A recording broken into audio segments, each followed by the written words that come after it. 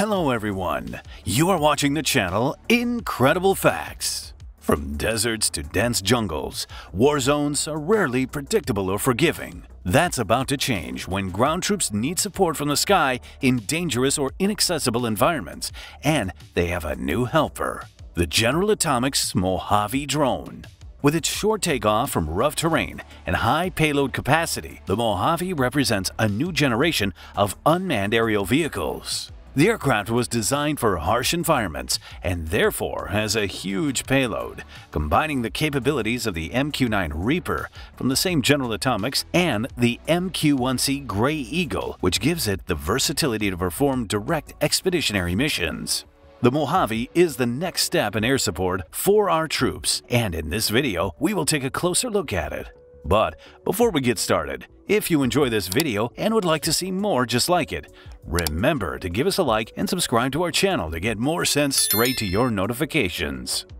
The Mojave was developed to meet a specific growing need in modern warfare, the need for large-scale air support over uncooperative and volatile terrain where other larger UAVs simply cannot operate or operate with less efficiency. Drones such as the MQ-9 Reaper and MQ-1C Gray Eagle perform many vital functions, from high-altitude reconnaissance to precision strikes, but they are designed to fly from secure bases with long runways and reliable logistical support. And such bases are usually located deep behind front lines. In today's conflict zones, such amenities are rarely available, and even more rarely in remote, inaccessible, or otherwise disputed areas.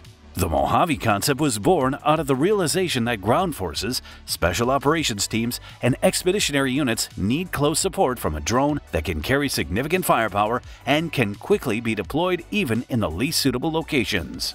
First introduced in December 2021, the Mojave was designed to meet the needs of close air support and reconnaissance in combat zones that require adaptability. While most UAVs depend on long and well-maintained runways, the capability of the Mojave to take off with STOL capability enables it to lift off from any opening in the ground, be it a beach island or an opening in a jungled area. It therefore becomes an indispensable tool for ground forces that are in dire need of rapid mobile support.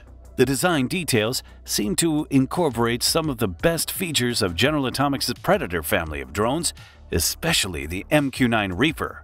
Whereas the Reaper is optimized for high-altitude reconnaissance and combat missions, however, the STOL configuration of the Mojave is optimized for low-altitude deployment. With its 1200 shaft horsepower turboprop engine and 7,000 pound maximum takeoff weight, the aircraft can carry as many as 16 Hellfire missiles, nearly twice as many as the Reaper, and is designed to withstand the rigorous conditions associated with dirt roads and semi-ready runways. Thanks to the powerful 450 horsepower Rolls-Royce M250 turboprop engine, it can serve reliably in such harsh conditions, and the reinforced chassis with wide tires again confirms the unpretentiousness of the drone. But perhaps the most attractive thing about the Mojave is its transportability. It is transportable Disassembled on a cargo plane the size of a C-130 Hercules, widely used by the U.S. military or similar, it is quick to deploy in unprepared fields and other harsh environments. A team of four persons can dismount, assemble, and prepare the airplane for a mission in one and a half hours, ready at any moment and at any place. The Mojave's large wings are equipped with sophisticated altitude enhancement devices such as forward slats, dual-slotted flaps, and ailerons that maximize lift without compromising stall performance, something that is not found on other UAVs of similar design for such missions. In addition to missiles, the Mojave is equipped with electro-optical sensors, synthetic aperture radar, and signal intelligence packages, as it is also designed as a platform for reconnaissance and armed reconnaissance, which is equally important in modern warfare. Its advanced sensor suite enables precise target tracking and provides near real-time intelligence support. In addition, the ability to launch from hard-to-reach locations opens up opportunities in other areas, such as maritime operations. Deployment from aircraft carriers provides critical air support to naval forces, enhancing the capabilities of joint missions involving conventional and special operations forces. But to fully understand the benefits of the Mojave, it is necessary to look at its predecessors, especially the MQ-9 Reaper.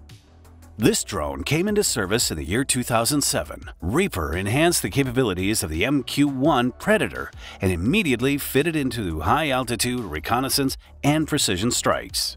With its new avionics, Y-shaped tail, and 66-foot span, it let it stay aloft for more than 27 hours with a smaller payload and gather extremely valuable data several miles above the battlefield. While the Reaper 2 can carry Hellfire missiles, its design is better suited for high-level strategic support than close-range support that is provided by the Mojave.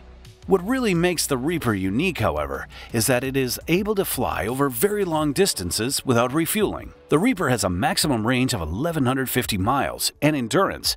It is suited for those long-distance reconnaissance, surveillance, and reconnaissance missions in hostile space. It provides real-time targeting and reconnaissance, surveillance, and reconnaissance, hence assuring the skies of constant monitoring of military operations. As such, Reaper has become indispensable in most theaters of war around the world where intelligence, surveillance, and reconnaissance missions, or ISR for short, usually are tasked with gathering critical intelligence about the movements of enemy troops. In addition, you can be sure that even now, these spies are flying around the world somewhere and continuously collecting information around them, whether in Europe, the Middle East, or the Far East. But as good as the Reaper might be at the high-altitude reconnaissance, it lacked much of the STOL capability and rugged design of the Mojave. Flying from semi-prepared runways or utilizing them for close-range, low-altitude support for that matter, is just not an option for the Reaper to provide. Thus, the Mojave was uniquely positioned to bring closer and make more agile the combat support afforded by the Reaper. But the Mojave story clearly underlines that this drone was developed to fill in the critical gaps, not only for Reaper. Thus, in this section of the video, we'll review previous experiences of UAVs such as the MQ-1C Gray Eagle the Gray Eagle is the lead UAV within the arsenal of the U.S. Army and has earned its reputation as a sure guardian of ISR missions. That robust UAV was designed to carry out medium altitude flights and long endurance. It is able to stay above critical areas for 25 continuous hours, armed with Hellfire missiles in order to destroy threats if that would be called for. Gray Eagle has open architecture. Operators can switch sensor sets or add specialized equipment as required, and that provides flexibility of military intelligence with strike capability. But worse still, the Gray Eagle's Achilles heel was dependence on traditional airfields. As fine as this made it for long-range reconnaissance and fire support, it could not do its stuff in rough terrain, meaning that this prohibited the Army from deploying it wherever it desired. Among other things, this limitation defined the Mojave concept to retain the versatility of the Gray Eagle and add a more robust design. In essence, the Mojave was developed to extend the reconnaissance capabilities of the Gray Eagle into the most inhospitable and hostile regions of the world, essentially where its predecessors could not go. On the other hand, the United States has the XQ-67A. This is quite an ambitious platform developed for the U.S. military program Loyal Wingman, the concept is for it to be a high-speed, stealthy drone that works with manned aircraft, getting orders independently and executing dangerous missions of electronic warfare and air-to-air -air combat. Unlike the Gray Eagle, XQ-67A was not designed to stay aloft for long periods of time or support ground operations, but it was designed to fly within airspace where fighter aircraft live to provide real-time support in air combat. This gives it great tactical maneuverability and stealth, making it a very valuable asset in modern warfare. However, its mission priorities are completely different from those of the Mojave. In comparison, the Mojave sits right between these two specialized drones. It inherits the endurance and modularity of the Gray Eagle, but adds the ability to support ground troops in difficult, often unforgiving environments. Lacking the XQ-67A's stealth and fighter support emphasis, it makes up for it by bringing a tremendous amount of firepower, totaling up to 16 Hellfire missiles, serving as a pretty flexible reconnaissance strike platform.